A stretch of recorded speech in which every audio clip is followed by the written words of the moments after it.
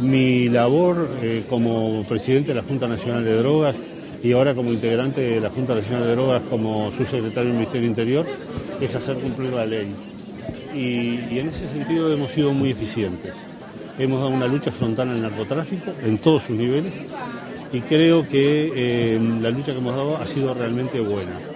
Si uno mira los consumos de, droga en el país, sobre todo pasta base de cocaína, que la que está más vinculada con la delincuencia, en los últimos tres o cuatro años no ha aumentado el consumo. Quiere decir que si una droga tan adictiva como la pasta base de cocaína y tan vinculada a los hechos delictivos no ha aumentado su consumo es porque las políticas que se fijaron y las acciones que se hicieron fueron realmente exitosas.